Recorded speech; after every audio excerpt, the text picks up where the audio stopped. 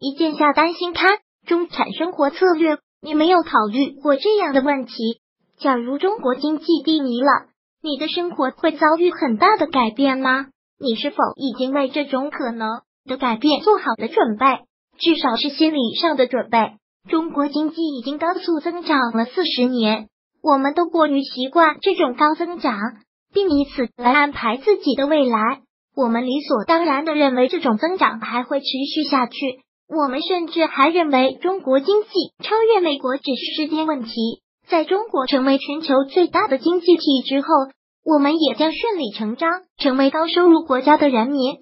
在高增长预期之下，很多人都对自己的未来做出了乐观、积极甚至是冒险的安排，比如做一个潇洒的月光族，敢于背负数百万元的房贷，对于未来的生老病死不做任何安排等等。但假如中国经济突然失速呢？曾经的预期是否会全部坍塌？插图范围一个残酷的事实是，从世界经济的发展历史来看，没有任何一个国家的增长能够一帆风顺。即使是美国也经历过无数次衰退。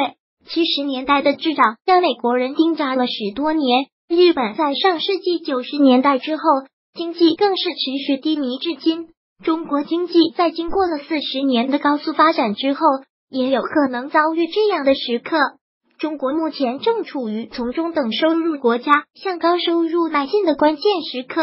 从历史上其他国家的表现来看，最终能够成功跨越中等收入陷阱的只有十几个国家，大多数国家在数十年时间里一直停滞不前。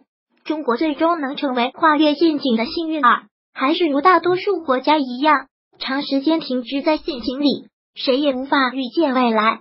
八月二日，股民在南京某证券营业部关注着行情，视觉中国公图。即使没有突然爆发的中美贸易战，中国经济最近几年的增速已经形成了明显的下降趋势。从二零一零年以来，中国的 GDP 增速每隔几年降下一个台阶。二零一一年的 GDP 增速首次跌破了百分之十，从此告别两位数的高增长。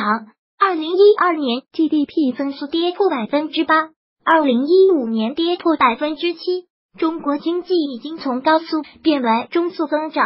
二零一六年，权威人士在人民日报发声，首次将中国经济定义为 L 型，并表示这个 L 型是一个阶段，不是一两年能过去的。但是，随着贸易战的爆发，中国经济从稳中向好转为稳中有变，能否维持住 L 型也遭遇了重大挑战。如果未来中国经济失速，个人收入放缓将是大概率事件。如果为了稳增长而大幅放水，中国还有可能遭遇通胀压力，而滞涨通常还会带来失业率的上升。对于个人而言，如果滞涨时代到来，这意味着收入下降和开支上升，以及就业难度加大的三重打击。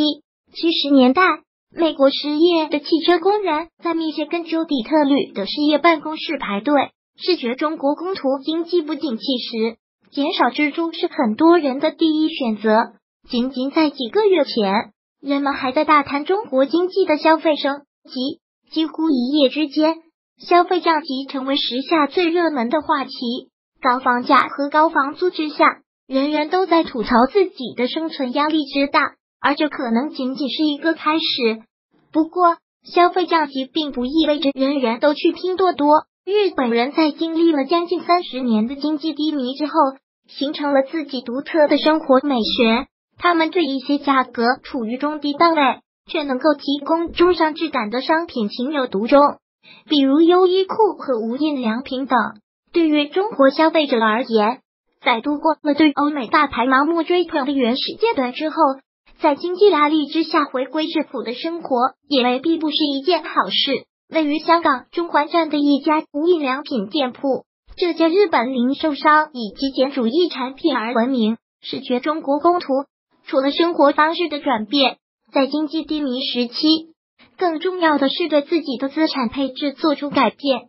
在经济向好的年景，个人的预期收入和风险承受能力都相对较强，资产配置应该相对积极进取一些，可以更多向股市和楼市等高风险高回报领域倾斜，而这些风险资产在经济繁荣时通常也都有不错的回报，但在经济下行周期，个人低预期收入和风险承受能力也相对较弱，风险资产的回报率下降，资产配置也应该以保守防御为主，减少高风险资产的配置，保住胜利果实才是最重要的事。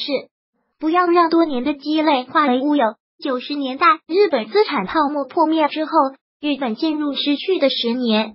当年很多破产的日本人不得不弃房、离婚、流浪，甚至自杀。对于习惯了高增长的中国人而言，很有必要重温当年日本的教训，以警醒自己。二零一一年，日本东京街头房租楼价不断上扬，再加上地震海啸的冲击，日本经济低迷不振。日本国民的生活方式因之发生了许多改变，视觉中国公图。过去在楼市和股市上或许曾经有过的一夜暴富，未来对此可能不得不大幅降低预期。而一些过去被忽略甚至是看不上的理财方式，比如被视为老年人才买的国债，在现金为王的时代都是不错的选择。如果不想在 P to P 的雷区被割韭菜。其实市场已经很难找到年化收益超过百分之四，而且无风险的品种了。而三年和五年期国债的收益率能达到百分之四和百分之四点二七。经济不景气时，你可能还需要了解一些你所在城市的养老有多贵。知道真相之后，估计你会开始为自己未来的养老而焦虑。我国现有的养老金水平并不足以让你退休之后。还能维持一个相对体面的生活。我国的养老金替代率只有百分之四十，也就是退休前每个月拿一万元，退休后拿四千元。按照国际标准，养老金替代率应该在百分之七十以上，才能保证退休后的生活水平不出现明显下降。如果考虑到很多企业并没有按工资实缴养老金。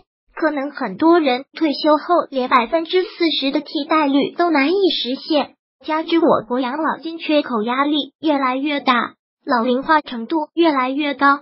现在三个在职人员抚养一个退休人员，将来很可能下降到一比一的比例，养老金的兑付压力有多大，也就不难想象。近期黑龙江出现养老金延迟发放，就是一个预警，未来我们的养老金。能否足额及时发放，始终是一个重大挑战。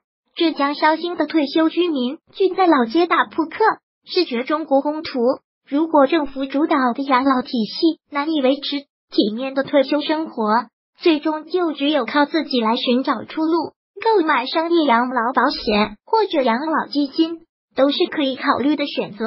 按照政府的鼓励政策，购买商业养老保险的费用。还可以享受税前抵扣，在现有养老金的缺口压力下，我们大概率还会迎来了延迟退休。从减轻养老金缺口压力的角度来看，延迟退休意味着一举多得，既可以让大家多缴纳几年养老金，又可以减轻当期养老金的支出压力。